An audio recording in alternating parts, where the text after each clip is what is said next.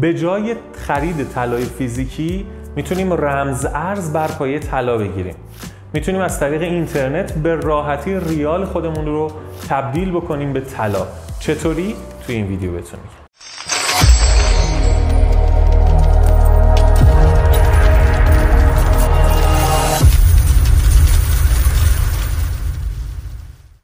درود بر شما. امیدوارم حالتون خوب باشه. با یه قسمت دیگه از برنامه دنیای رمزارزها در خدمتتونم.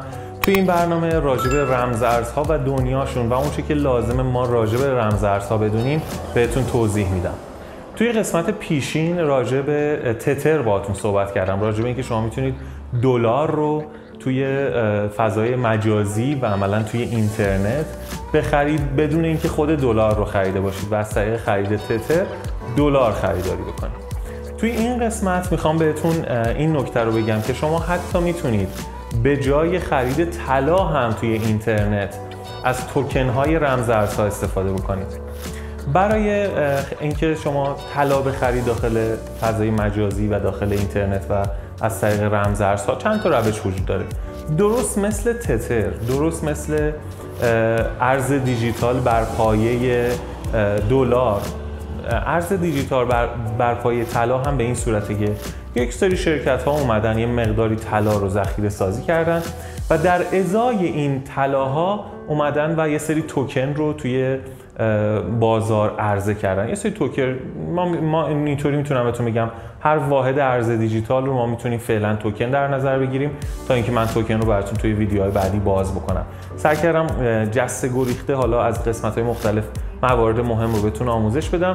یکم فضا برامون آماده بشه و بعد بریم سراغ آموزش های اصلی و اصولیمون توی دنیای رمز ارزها. خب سه تا شرکت هستن. در واقع سه تا نماد رمز ارز هستن که ما می‌تونیم با خرید اونها عملا طلا بخریم. تتر گلد همون شرکتی که تتر رو درست کرده بود.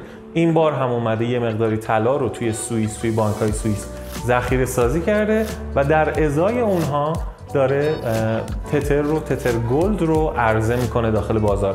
تتر گلد یک ویژگی دیگه هم داره و اون اینه که هر یه دونه تتر گلد برابر با یک اونس طلا. یعنی هر چقدر قیمت طلا بالا پایین بشه توی دنیا نسبت به هر ارزی و هر پولی تتر گلد هم قیمتش بالا پایین میشه. علاوه بر تتر گلد یک پکس گلد هم داریم که البته من اطلاعات زیادی ازش ندیدم و ندیدم که بین ایرانی ها باب باشه.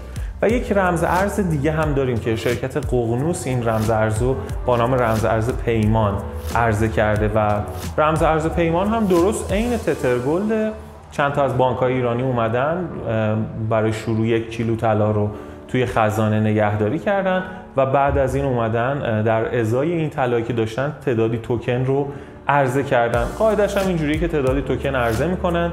وقتی که این توکن ها کل موجودی طلاشون رو پر کرد و تقاضا همچنان برای توکن هاشون بالا بود توکن های بیشتری رو حدود هزار توکن بدون پشتوانه عرضه می‌کنن و بعد به محض اینکه این هزار تا فروش رفت بلافاصله پشتوانه لازم رو براش تامین می‌کنن که همیشه پشتوانهش طلا باشه. این توی همه دنیا تقریبا مرسومه یعنی جای نگرانی نیست. رمز ارز پیمان توی ایران بهتر قابل پیگیریه.